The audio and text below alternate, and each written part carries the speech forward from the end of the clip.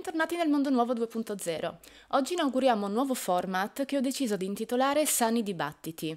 Qui con me ho due ospiti. Abbiamo Valerio. Ciao Valerio. Valerio è un ragazzo trans che io ho intervistato già l'anno scorso. Abbiamo parlato, ci ha raccontato la sua storia, un po' la sua visione del problema dell'ideologia gender eh, versus transessualità, che sono due cose diverse. E quindi ti do il benvenuto oggi. E poi abbiamo Marco, anche Marco è stato intervistato da me l'anno scorso Marco è un poeta, è autore di un saggio sull'aborto e la propaganda ed è inoltre anche mio quasi marito e padre di mia figlia. diciamolo, dai, diciamolo. diciamolo. Grazie Eli, sono contento di, di ritornare a, a chiacchierare qui sul tuo canale.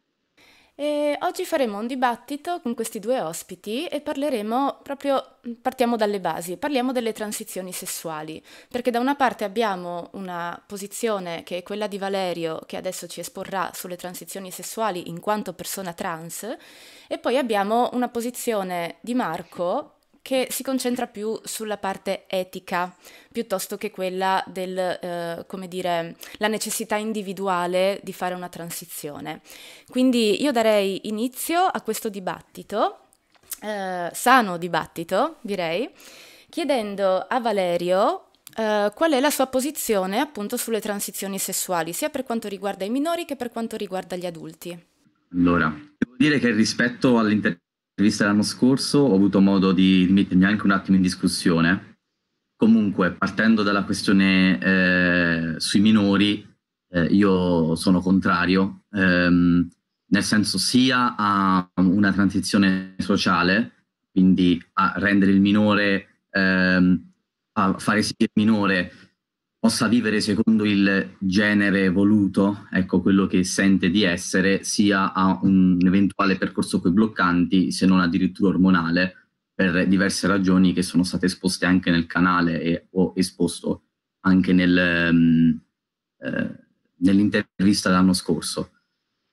Invece ehm, sulle transizioni per gli adulti eh, io sono ovviamente eh, pro, però ho una visione cioè, nel senso, ridiscuterei come vengono fatte e il punto che ho rimesso in discussione è stato un attimo anche l'affidamento che si fa sullo psicoterapeuta, perché purtroppo mi rendo conto che oggi eh, molto spesso affidarsi a uno eh, psicoterapeuta, soprattutto un, un, come si dice, un gender therapist, vuol dire mettersi in mano a una terapia affermativa che secondo me anche per l'adulto può essere dannosa. Quindi eh, io sì sono per la transizione, però eh, deve essere qualcosa di pesata molto, molto bene e soprattutto vista con un'ottica totalmente diversa da come viene vista oggi. Quindi non parlare nemmeno di cambio di sesso, di diventare veramente donne e uomini e, e queste cose, insomma, tutto quello che fa parte di ideologia gender fondamentalmente e avere un approccio più realistico, questo semplicemente.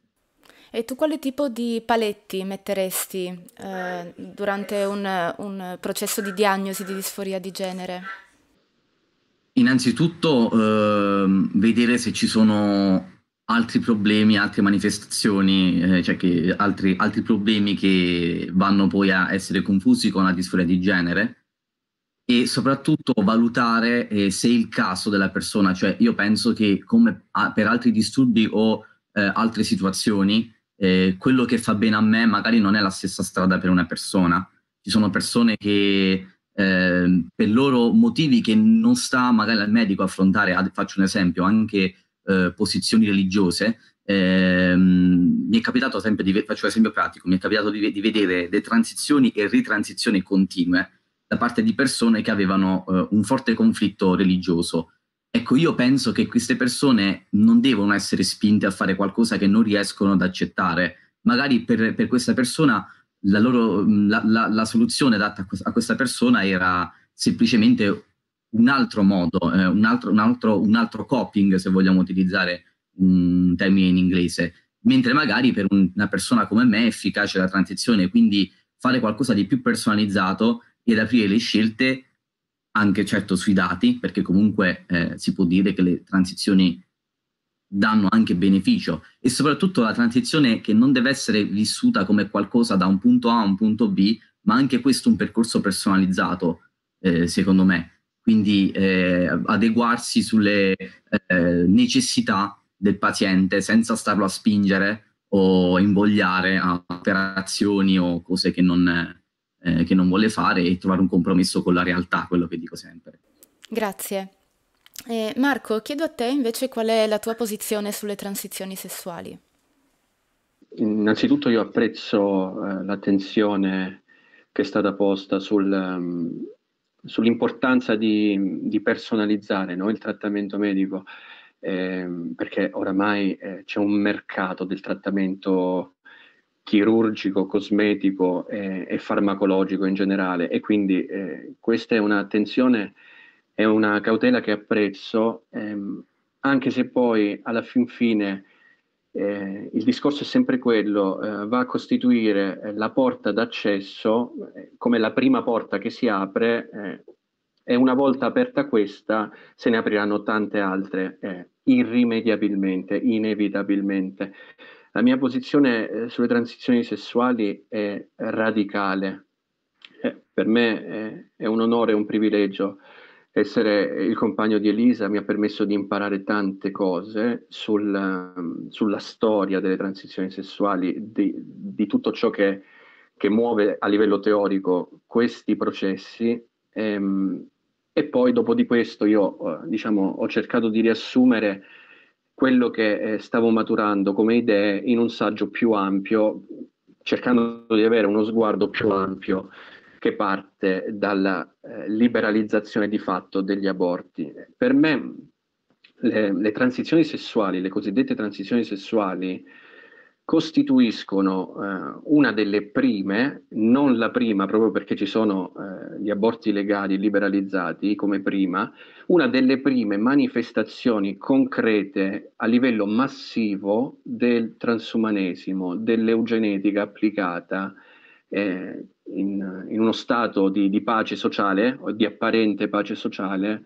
dove i civili eh, possono tranquillamente in nome di concetti positivi appositamente elaborati dalla propaganda distruggere loro stessi. Eh, e perché dico transumanesimo? Perché è proprio il salto in avanti dell'uomo che dopo aver distrutto Dio ha eretto un nuovo Dio, questo genio astratto, che è il suo stesso intelletto, il raziocinio, e in nome della perfezione del suo raziocinio eh, segue questa idea astratta di libertà, che è stata molto eh, mistificata, e sul pretesto della libertà individuale personale arriva a dire sì, tu puoi ucciderti, tu puoi eh, effettuare dei trattamenti che non hanno senso da un punto di vista medico. Per cui la, la domanda per me a un certo punto della riflessione è divenuta eh, ma che cos'è la transizione sessuale e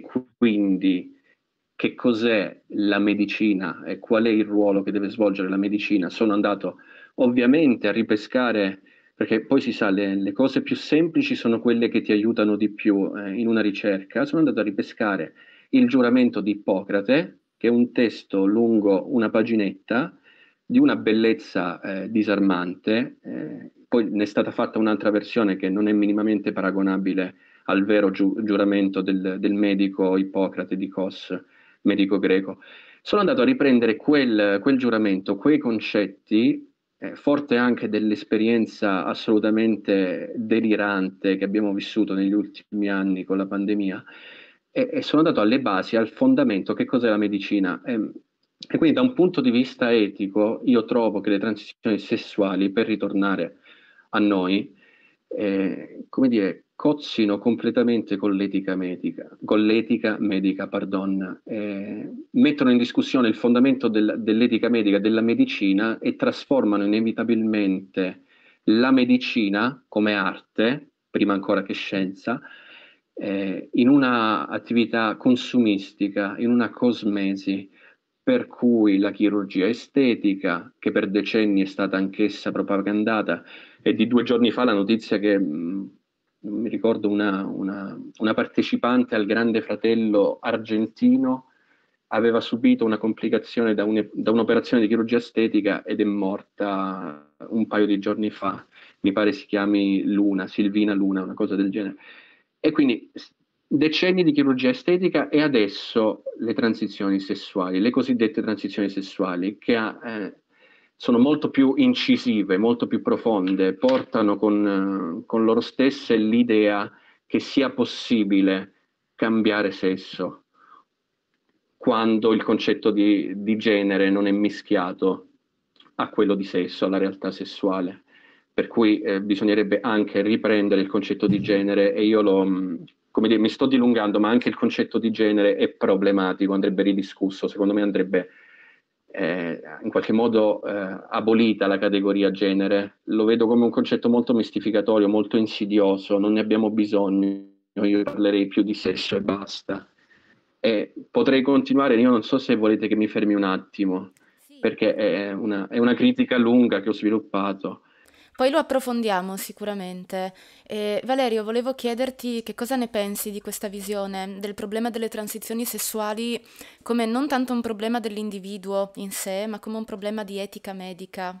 Cioè che cosa è lecito che faccia un medico se lo richiede il paziente?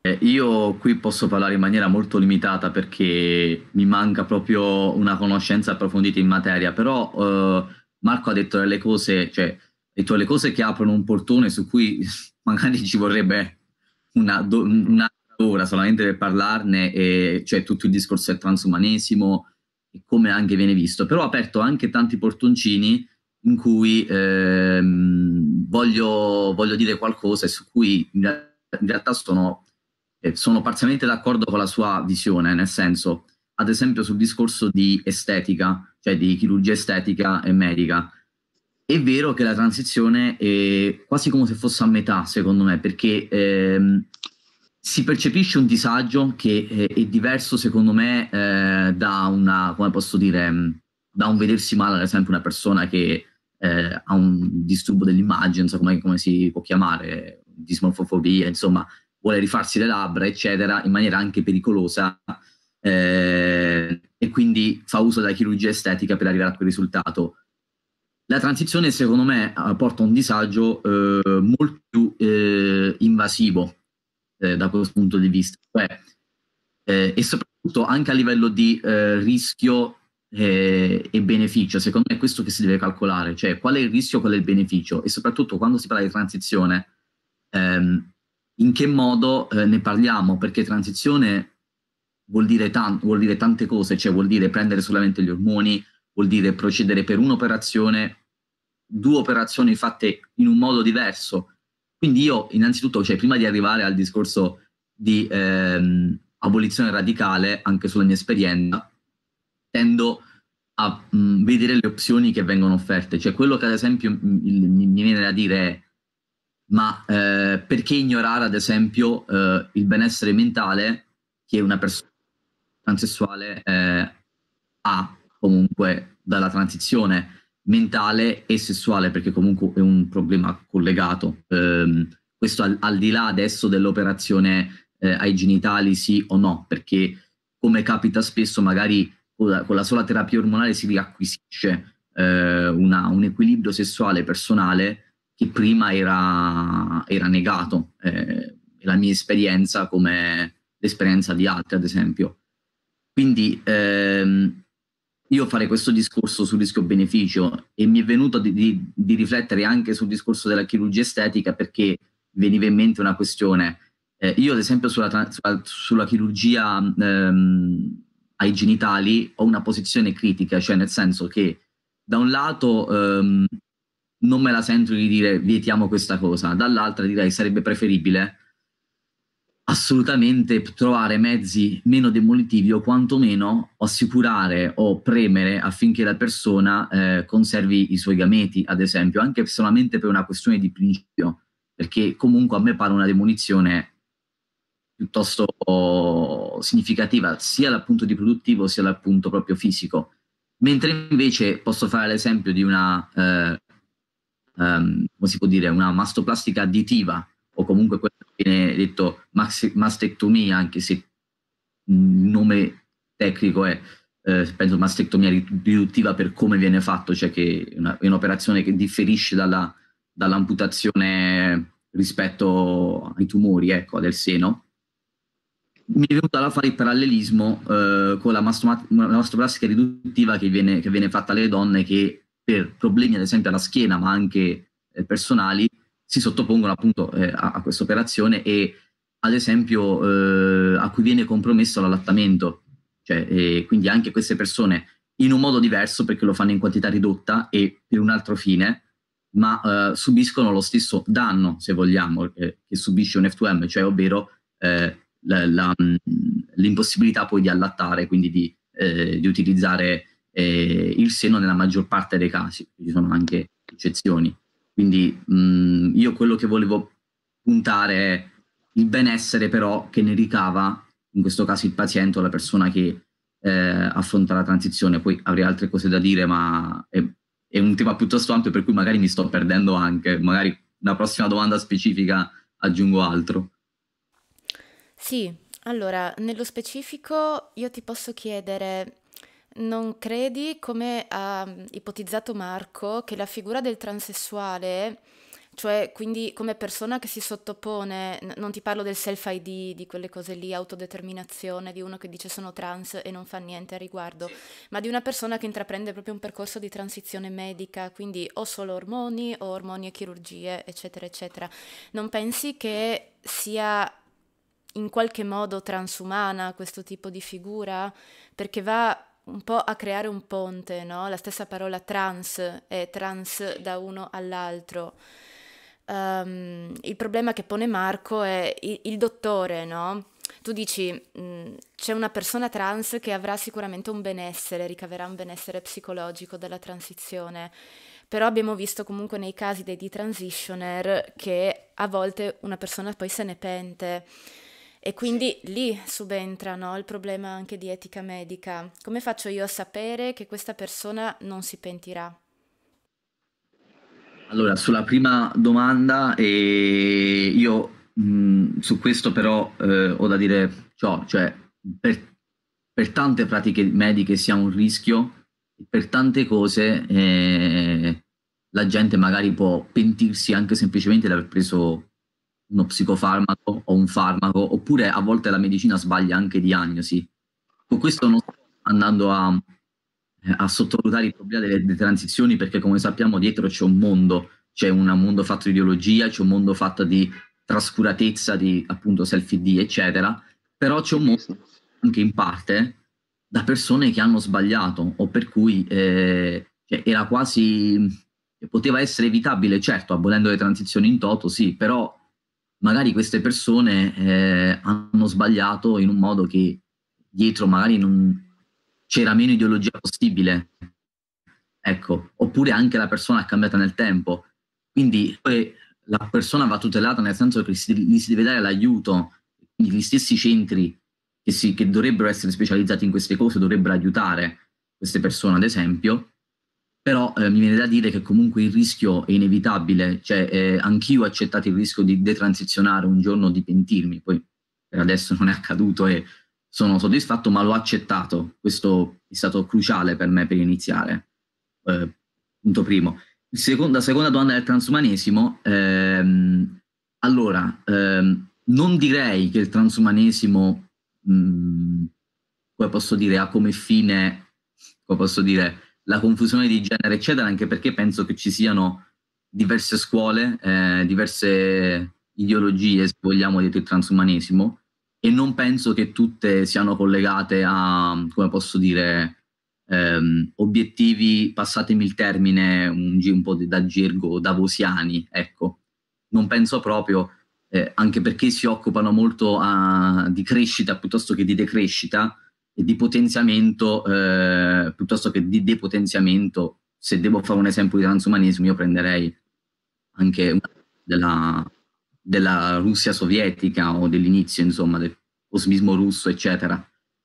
Però eh, sì, cioè, vedo comunque nel transessuale il pizzico di transumanesimo, questo sì, anche se in una maniera molto primitiva, nel senso che alla fine stiamo ancora giocando con la biologia, con gli ormoni, col corpo, per cui non è che si sta parlando di chissà che liberazione. Mi permetto questa cosa un po' personale, ho fatto una riflessione anche su un lavoro, diciamo, artistico, dove mi concentravo sulla limitatezza del transessuale, cioè un transessuale che alla fine rimane limitato nella, nella sua carne, che tanto non cambia fino a un certo punto, quindi se vuole aspirare a qualcosa di più alto, ecco, non è sulla carne che si deve concentrare, non è il fatto di prendere ormoni o di tagliarsi parti del corpo, aggiungere eh, una protesi che eh, lo farà arrivare chissà dove, quindi già questo per me, eh, insomma sì, dico sì, c'è il pizzico di transumanesimo nel senso di affermazione dell'individuo, questo sì, però non lo vedo completamente per il resto perché lo vedo già come una cosa finita, una cosa esaurita, secondo me. Eh, però sul, sul discorso dell'affermazione dell'individuo, quindi dell'individuo che dice io eh, posso cambiare me stesso eh, o mh, mm, posso cambiare que- come Dio mi ha fatto, e perché poi il punto centrale è Dio. Penso che io parto da, un, da una concezione, non, io non sono ateo, ma per gli standard magari di Marco sono ateo, perché comunque non penso che, eh, non, non, non, ho la sua stessa visione di Dio, però ehm, penso che sia questo punto, un punto cruciale su cui si può molto, ma è difficile arrivare secondo me a un punto d'intesa. Marco, come risponderesti? Abbiamo toccato punti cruciali, transumanesimo, Dio. Sono state dette tante cose. Una, una parola eh, importante che è stata detta è liberazione. Eh, mentre si parlava di transumanesimo, non, non vedo tutta questa liberazione. Eh, ma qui si apre un portone veramente grande e si va sul filosofico. Liberazione da che cosa? E che cosa si intende per liberazione? Io credo che l'essere umano ha la sua liberazione quando aderisce al suo ruolo di natura. Questo è un concetto che eh, ho sviluppato, di, di, cui ho parlato tanto anche nel, nel saggio che ho scritto. E, è stato detto anche che la transizione eh, sessuale non lo vedo come un fine del transumanesimo, Difatti non è un fine, secondo me è un mezzo ed è eh, sia a livello teorico eh, perché comporta tutta la sostituzione dei ruoli di natura, dell'ordine naturale, del concetto di Dio e di mille altre cose con eh, il capriccio del desiderio, con l'antietica del, del, desiderio, la manifestazione della volontà di potenza.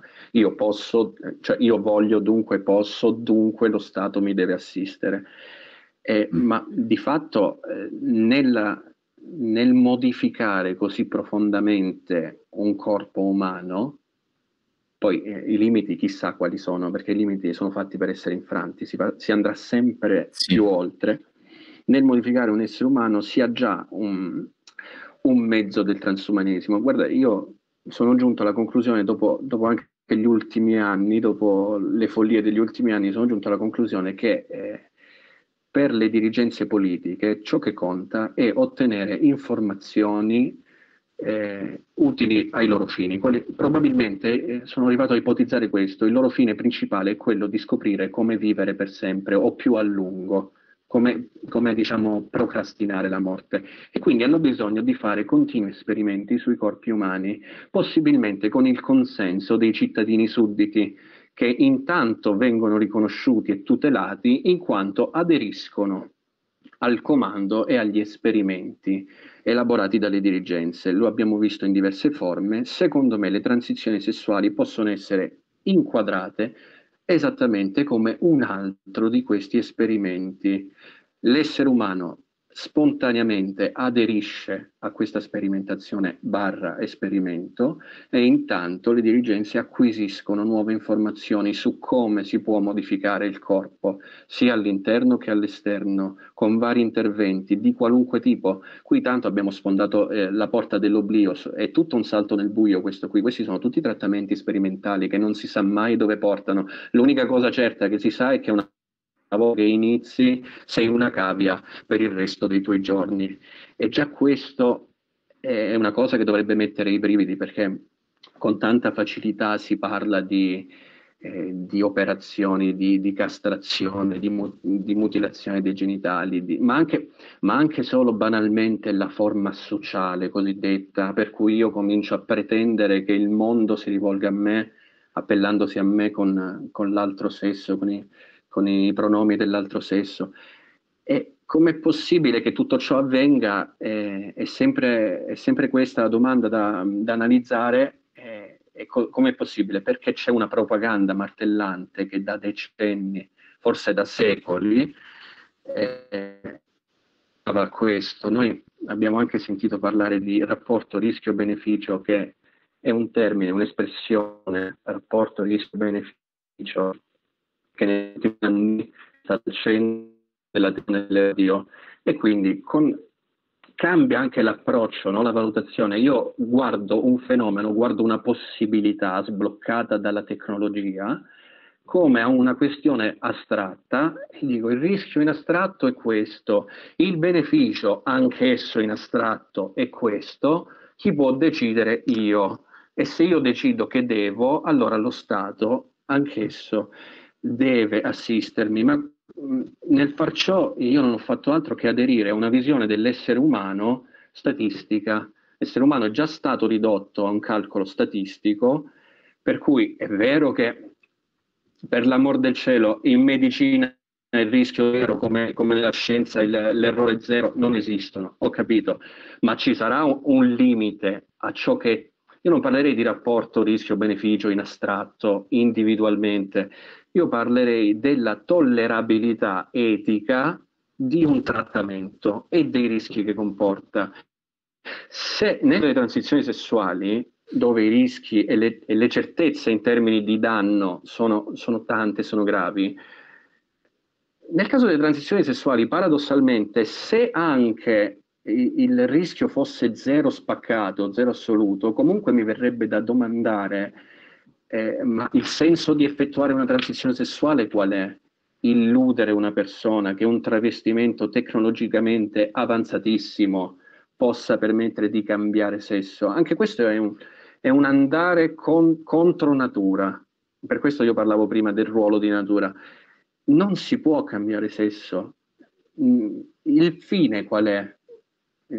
Stare meglio, ma, ma, tu affronti un disagio che se il disagio è psicologico, con un intervento eh, fisico, estetico, ormonale, eh, genetico, in futuro, quale, quale, quale sarà quindi poi il limite? Io posso fare tutto. Se io dico che ho un disagio psicologico, che ho bisogno, non lo so, di, di, di attaccarmi un terzo braccio su, sulla schiena, eh, devo, vado dallo Stato e dico Stato tu devi assistermi, io, io mi, mi, identifico come un uomo con tre braccia e quindi mi devi attaccare un braccio sulla schiena, mi deve pure funzionare. Eh, è una follia, mm. eh, se, seppure il rischio fosse zero, non lo è, eh, resta comunque un, una legittimazione, una, una normalizzazione della normale. E ho capito che i, i trans sono sempre esistiti, ma un, un conto è l'esistenza di un, di un qualcosa che non è la norma, è l'eccezione. E un altro conto è dare dire, il sigillo etico statale e quindi avallare e quindi assecondare, promuovere quello che a conti fatti, per come la vedo io, dopo, tu, dopo questi anni di riflessione, resta un esperimento delle dirigenze di possesso e controllo chi ha potere, chi ha raggiunto il potere, ne vuole sempre di più, o meglio, vuole essere sicuro di poterlo conservare. E come fa ad esserne sicuro? Deve aumentare costantemente i livelli di controllo. E come fa?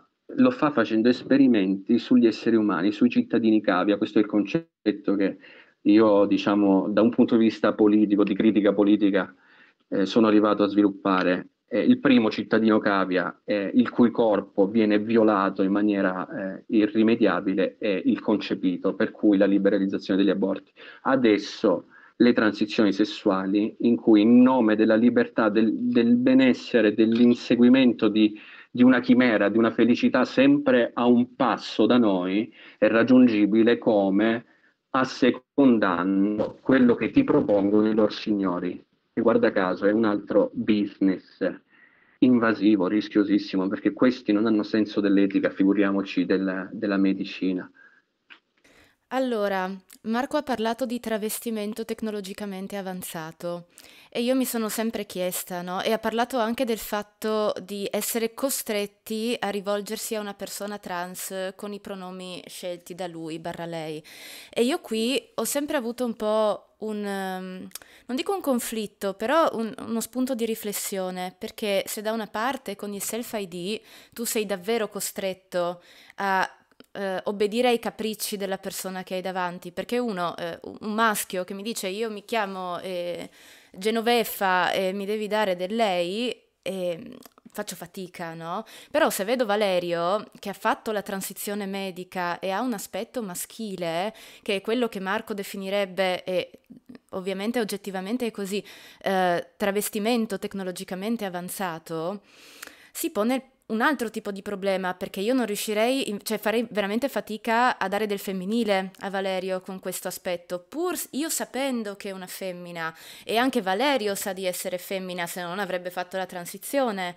E quindi, cioè, mh, siamo sempre lì, no? Questo travestimento, cioè, cioè, si pone un altro problema nei confronti della società. È lecito ingannare, tra virgolette, la società con questo travestimento?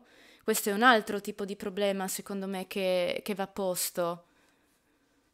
Ah, infatti questa cosa che ha detto Marco eh, in, nella precedente risposta a questa mi, aveva, mi era piaciuto perché anche questo anche è stata una cosa su cui ho riflettuto molto per concludere che c'è tanto del sociale e mi aveva stuzzicato il discorso eh, suo della, anche della mh, ridiscussione se non abolizione del concetto di genere perché eh, in una maniera forse da matti, probabilmente perché forse è fattualmente impossibile, ma non lo so, voglio dire, eh, viviamo in questa società per cui magari c'è difficile immaginarlo adesso. Questo senza eliminare eh, il discorso della transizione per quanto mi riguarda, perché mi, mi attengo a questa posizione, mi dicevo, ma io eh, in una società dove mh, è concepito l'essere femmine così come sono io adesso, mh, mm, potrei vivere da femmina, da femmina proprio, cioè nel senso come col corpo che adesso e tutto, che, mh, mm, insomma, io direi di sì, cioè nel senso ehm, sarebbe più coerente a livello biologico, però mi rendo conto che l'uomo poi, cioè l'umano, eh, per tutto questo tempo ha sempre identificato maschio e femmina giustamente con i tratti sessuali secondari che, che, che sono derivanti da, da, dagli ormoni e dal sesso, per cui anche qua, cioè cosa vogliamo cambiare? Anche questo è cambiare la natura in un certo senso. Um, cambiare una concezione che deriva da assunti naturali, ma in parte l'abbiamo già fatto, cioè d'altronde oggi concepiamo la donna come iperfemminile rispetto a com'è di natura. E questo me ne approfitto per dire una questione anche su, uh, su come la penso io sulle, sul discorso che si ricollega al transumanesimo sull'uomo. Io non penso che esista l'uomo nel senso così come esattamente così come all'inizio e sarà per sempre, cioè io vedo un essere in divenire, quello che è stato prima non è adesso e quello che sarà un domani, anche senza intervento umano, non sarà quello che è oggi. Quindi un conto è se vogliamo dire che deve essere solamente il caso o la natura a sancire queste modifiche, ma di fatto io penso che l'uomo sia proprio mh, istintivamente portato a eh, manovrare la sua evoluzione e a manovrare anche quello che ha intorno, anche attraverso il sociale. Ecco, sul discorso ad esempio del, mm, per tornare al discorso della, del genere, della socializzazione, eh, io infatti eh, anche qua c'è un punto eh, molto politicamente scorretto, su che base io do del maschile o femminile a una persona trans, a una persona trans che eh, anche volendo non è riuscita a passare, anch'io potrei fare fatica a dare quello che il pronome desiderato e lo faccio per rispetto perché mi immedesimo e tutto, eh, non per voler dire che quella persona è veramente del sesso in cui si identifica, ma questo lo, lo direi in generale, cioè quando io dico persona trans, quando dico donna trans, io sottintendo già maschio che ha fatto un percorso, quindi per me non vuol dire la femmina. Eh, chiaramente c'è il discorso della percezione, questo, questo sì, il discorso della percezione secondo me in particolare va a toccare un lato istintivo eh, dell'uomo. Ecco, c'è quello di riconoscere eh, la persona secondo i tratti sessuali. Però eh, sì, sul discorso di genere sarei pronto a ridiscuterlo sinceramente, eh, anche per riportare il, il, a sé eh, il concetto di sesso, genere, cioè femmina, femmina, donna, maschio, maschio, uomo, quindi non maschio, boh, uomo, donna, femmina, boh, chissà, uomo, donna, non binary, quello che è.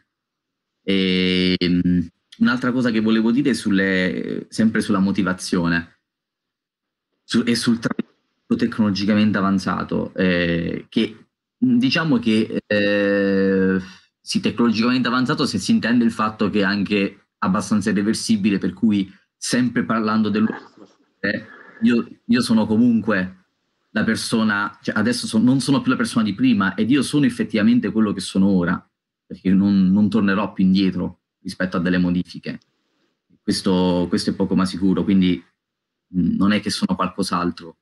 Lo scopo, secondo me, o meglio, lo scopo sano, secondo me, non può essere quello di cambiare sesso, um, almeno adesso uh, no, cioè io magari abbiamo trovato un equilibrio in questo modo di essere che però ammetto essere un modo di, di, un modo di essere atipico, cioè che non rientra appunto nel, nella, nel, nel maschio o nella femmina così come pensata diciamo in natura.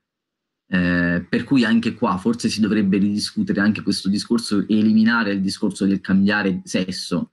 Si deve dire eh, accordare di più magari un tratto, quindi farlo diventare eh, appunto una cosa quasi più esteriore, per non dire estetica, però sempre mo- motivata da ragioni molto invasive e molto profonde, perché in realtà eh, per me già solamente il fatto di aver, di aver, superato delle cose che per me prima erano ehm, una difficoltà o comunque stare bene, sereno attualmente nel vivere il mio corpo, per me è già un traguardo, un fine, per cui potenzialmente potrei fermarmi qua, ecco, cioè, questo è, parlo di me perché parlo di me, ma ovviamente anche altri hanno questa esperienza, altri no. Qui la, la sostanziale differenza di opinione al riguardo è che da una parte Valerio fa leva sul desiderio individuale, no? che deriva da un disagio psicologico e per stare meglio si fa la transizione da adulti e con paletti. Ho fatto un riassunto decente della tua posizione, Valerio? Sì, diciamo, cioè desiderio individuale, ecco, mi hai ricordato un attimo questo appunto, eh, scusami.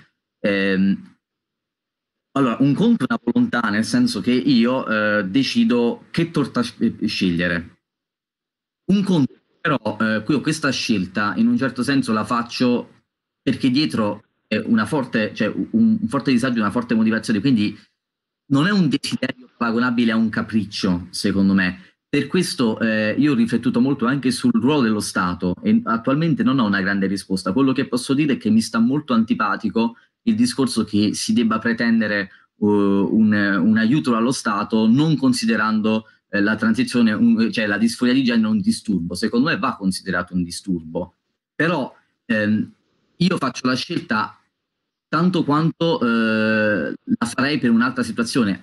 Faccio un esempio parallelo magari. Eh, io ho un disturbo ehm, psicologico e mi vengono prescritti gli psicofarmaci. Sta a me scegliere se prenderli sì o no certamente se li prende perché è un disagio, quindi sarebbe giustificato, però in, in, in ultima istanza sono sempre io che, eh, che, decido anche di non farlo, questo, questo è, il, il, il discorso, quindi mh, una lieve differenza ecco, tra scelta così e scelta condizionata. Ecco. Ok, e la posizione di Marco invece si concentra più sull'etica medica rispetto alla uh, volontà individuale, giusto? Sì, eh, sì, il discorso eh, si riallaccia subito a quello che è stato appena detto. Sta a te scegliere se alla fine prenderli oppure no, ma prima di questo momento in cui sta a te, sta alle istituzioni, potremmo dire eh, in astratto, sta a tutti eh, stabilire se proporteli oppure no, se renderli disponibili oppure no questo è il momento fondamentale in cui eh, si ha eh, come dire, il taglio tra ciò che è tollerabile e ciò che non è tollerabile. Quindi il, poi eh, si sa che la, la, la storia della, della, medicina e della, della farmacologia eh, annovera anche casi molto gravi di, di farmaci messi, immessi sul mercato e poi ritirati dopo, dopo eh, effetti avversi. Ehm, volevo aggiungere anche se il, il problema è il disagio, eh, come dire, psicosociale, non solo psicologico individuale, per cui se l'individuo fosse isolato e vivesse da solo, viene difficile pensare a una situazione in cui un individuo isolato eh, manifesta l'esigenza di cambiare sesso per apparire diversamente dinanzi a chi? A se stesso. E comunque sia, eh, poniamo il caso in cui c'è una disforia di genere, sappiamo che il concetto di disforia di genere, proprio come quello di genere, è problematico. Eh, sul tuo canale, Elisa, abbiamo visto eh, come è definita la distopia di genere con, con, una, con quell'elenco insulso che veramente non si capisce come si possa anche solo eh, accettare una cosa simile, che, una cosa se, a livello di, di semplificazione così banale. Eh, poniamo il caso di una disforia di genere eh, ma questa disforia di genere, quindi diamolo per buono, eh, c'è un caso di una disforia di genere, come lo affrontiamo, come agiamo? E di nuovo, il problema qual è? È l'essere accettati per cui se si è donna eh, si, eh, ci si sente uomini eh, pur essendo donne, oppure ci, ci si sente donne pur essendo uomini. Se il problema è solo questo, allora a un disagio in larga parte sociale, relazionale, pragmatico, contestuale, diciamolo come eh, si deve dare una risposta che agisce proprio a quel livello, a livello contestuale, sociale, di sensibilizzazione. Non è andando a modificare eh, il, il, corpo, la cellula, il codice genetico, eh, cioè perché tu così riduci solo l'uomo a una cavia da laboratorio e non hai comunque risolto alcunché perché hai risposto a un disagio psicosociale, psicologico con, con un intervento invasivo di questo tipo che eh, sicuramente lede tutti i principi dell'etica medica, del giuramento di, Ippocrate, del primo non nocere, non fare del male, non, fare, non arrischiarti così gratuitamente per fare cosa? Eh, l'essere umano è un essere in divenire a livello storico dei secoli, ma per quanto sia un essere in divenire, resta pur sempre un membro di una specie sessuata e questo non si cambia se non si vuole, no, non, è, non, è, possibile. E, io ripeto, capisco che siano esistiti eh, transessuali eh, a, a, vario titolo nei, nel corso della storia, ma mai come nella modernità, nel, nell'epoca contemporanea, era stata data in pasto e offerta alle masse la possibilità, l'opzione, perché si è sbloccata a livello tecnologico commerciale di mercificare del tutto il proprio corpo. E questo poi ti porta a tanti altri problemi, eh, come l'utero in affitto, sono tutte cose secondo me collegate. E sono cose di cui parleremo nei prossimi dibattiti sicuramente, anzi io invito chiunque volesse partecipare ad un dibattito, insomma, di, di contattarmi e di dirmi su quale tema vorrebbe dibattere. E secondo me la, il format del dibattito può aiutare molto perché in questo caso abbiamo due posizioni diverse, ma non così diverse perché sia da parte di Marco che da parte di Valerio noi abbiamo un'apertura nei confronti dell'altro, anche se non si condivide, no? Abbiamo un'apertura a capire la posizione dell'altro e mm, una cosa che io trovo veramente malata nel mondo di oggi è che non si può più discutere su niente.